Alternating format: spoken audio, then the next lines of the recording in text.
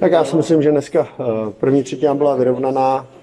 Nějaké šance jsme si tam vytvořili, ale eh, nebyly úplně vyložený. Eh, druhá třetina z naší strany nebyla dobrá. Měli jsme tam tři rychlé vyloučení po sobě, neměli jsme vůbec žádný tlak, takže s tou třetinou byla nespokojenost a ve třetí třetině, jak jsme dali na 3-2, si myslím, že jsme to zkušeně pohlídali a, a zaslouženě jsme vyhráli. Já bych chtěl pogratulovat soupeři k, k vítězství.